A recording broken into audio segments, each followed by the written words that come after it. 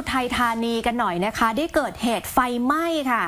ที่เอ่ออาคาร 3 ชั้นใจกลางเมืองอุทัยธานีเลยนะคะ และเจ้าหน้าที่ระดมกำลังกว่าร้อยนายค่ะรถดับเพลิงเป็น 10 คันเลยนะคะ เข้าไป แต่ปรากฏว่า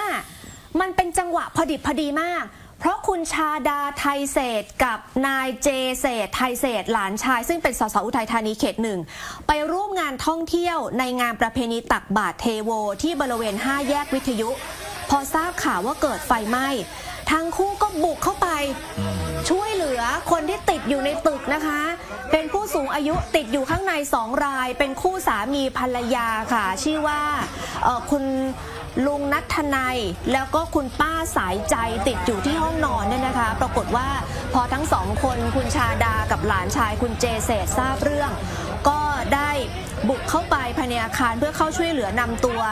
คุณสายใจที่ติดอยู่ชั้น 3 ออกมาได้จนปลอดภัยค่ะ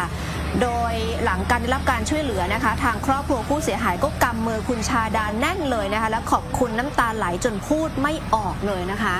แต่นี่นะ อันนี้ทีหนึ่งนะ เวลาเกิดเหตุไฟไหม้เนี่ยการวิ่งเข้าไปช่วยเหลือใคร แบบในขณะที่เกิดเหตุเพลิงไหม้อยู่อะ อันตรายมากนะคะ